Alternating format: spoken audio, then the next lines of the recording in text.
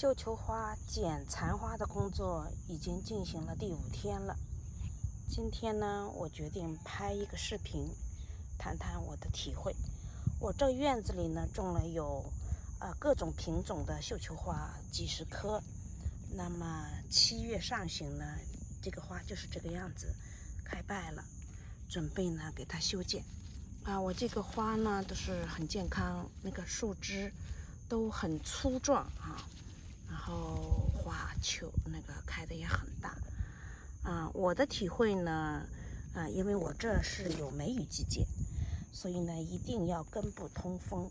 我会重剪，剪残花呢是园艺爱好者最快乐的工作之一。那么我呢，呃，一般剪残花没有什么讲究，嗯，就是这个绣球花呢，大概啊。就是从下往下数，看到有芽点的地方，比如这个地方，我就给它剪下来。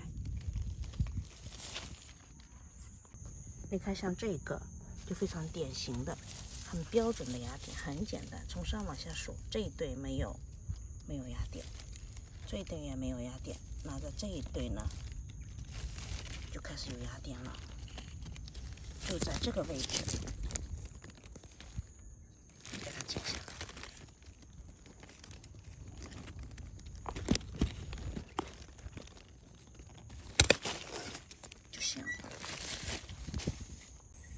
像山一样的残花堆了一堆，看我这残花剪了才三五天，新芽就纷纷冒出来了。你看这些嫩绿色的，啊，这些全是新芽，很健康的样子。可以想象明年的花开起来很旺了。你看，这个就是我已经剪完花残花的那个样子。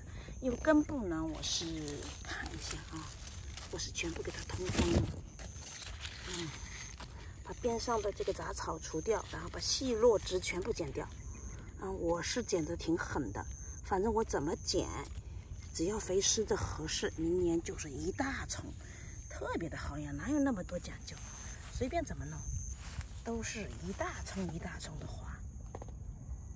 你看这个新芽冒出来，是不是很开心啊？欣欣向荣的感觉，你看，这个剪完以后，这才三天吧，它新芽一丛一丛的都冒出来了，都可以想象，这棵明年春天的时候开出来，花量是极其巨大的。看看，这么多新芽。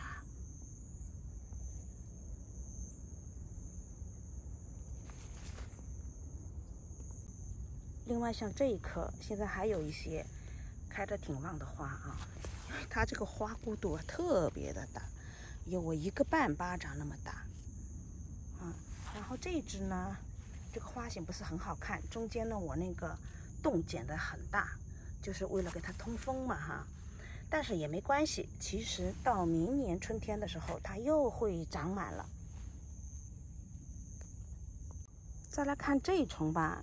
新叶子全都冒出来了，但是这一丛吧，就剪得还不够狠，有点不舍得，因为它当时啊开花的时候特别巨量的花，所以呢它很健康嘛，嗯，但是呢，你看这个根部啊，里面的枝条呢都很粗壮，啊啊还是有点多，我自己的感觉哈，其实是要下狠手的。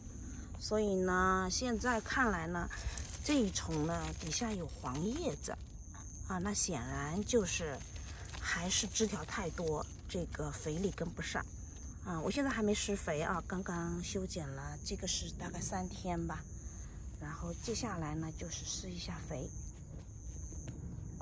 啊，根部一定要剪到这个样子，很通风的感觉啊。然后那个黑土地露出来，我很喜欢这种黑土地，我认为这是很有美术感的。